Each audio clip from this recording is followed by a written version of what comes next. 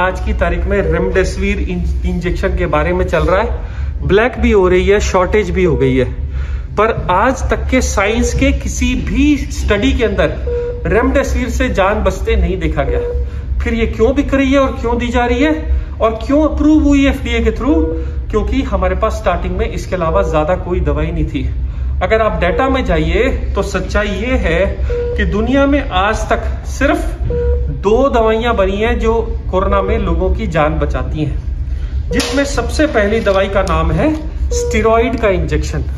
ये स्टेरॉइड का इंजेक्शन जिसकी स्टडी यूके में हुई थी, इसको कहते हैं डेक्सामीथेसोन ये ना तो ब्लैक हुआ, ना लोग इसके पीछे भागे। क्यों नहीं भागे?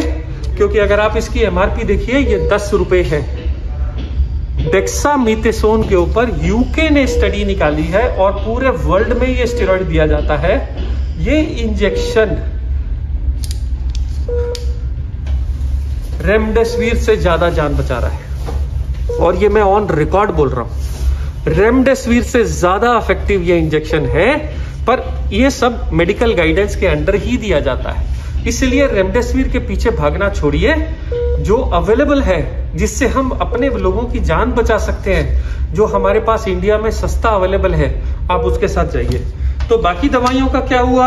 बाकी दवाइयाँ जो हाइड्रोक्सी क्लोरोक्विन जो आइवरमेक्टिन बोल के दवाइयाँ आई थी वो सारी दवाइयाँ फेल हो गई ट्रायल्स के अंदर और उनको अब कोई यूज़ नहीं कर रहा है। इसके अलावा 100 में 17 लोगों को, को सीरियस कोविड इन्फेक्शन में क्लॉट्स बनने का खतरा रहता है। इसलिए उनको ब्लड थिनर का इंजेक्शन एक क्लेक्सेन या जो लोग घर चले जाते हैं डॉक्टर्स उनको ब्लड थिनर की टैबलेट दे देते हैं। ये ब्लड थिनर की टैबलेट्स 20 से 21 दिन तक दी जाती हैं और ये दवाइयाँ भी अंडर मेडिकल प्रिस्क्रिप्शन ही दी जाती हैं। जो लोग की ऑक्सीजन 93 से कम है, वही लोगों को इतने सब दवाइयों की ज़रूरत है। जो लोग नॉर्मल है, वो लोग नॉर्मल खाना या सिम्टोमेटिक ट्रीटमेंट से ही ठीक हो जा रहे हैं। स्टीरोइड की ज़रूरत सिर्फ़ सेकेंड वीक में पड़ रही है। एक और चीज़ याद रखिए कि कोरोना की उम्र सिर्फ़ चौदह दिन ही है। अगर आप चौदह दिन जी गए तो आप कोरोना से जीत गए। अमूमन आदमी की उम्र पचास साठ साल होती है। कोई रीजन नहीं है कि हम कोरोना से हाथ जाए। अगर हम हाथ जोड़ ले, एक दूसरे की मदद करें, चीज़ें ब्लैक ना होने दें और जो अवेलेबल संसाधन है आज हमारे पास, उसको यूज़ करें तो हम सब ज़्यादा से ज़्यादा लोगों की जान बचा पाएँगे।